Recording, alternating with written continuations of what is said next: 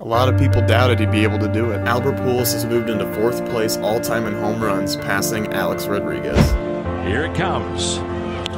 Albert sends one out to deep right center. It's at the wall. Gone! He's done it! 697. A two-run homer to put the Cardinals on top. He's all alone.